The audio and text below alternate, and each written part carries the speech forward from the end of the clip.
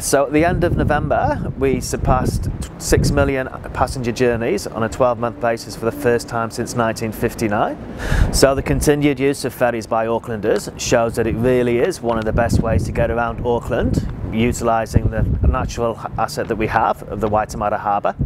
So we've been working hard with the operators over the last 12 to 18 months to try and address service punctuality issues, which in the main have been successful.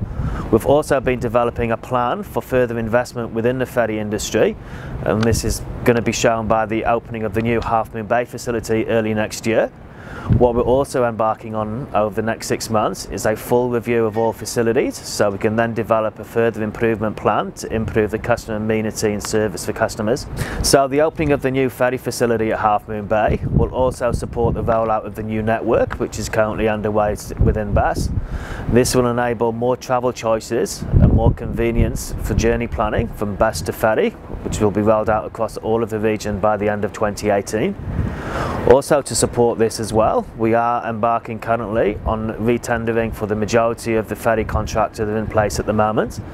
This will see, on delivery in 2018, the rollout of improved vessels and better customer amenity on board for customers to help them take their journey across Auckland's harbour.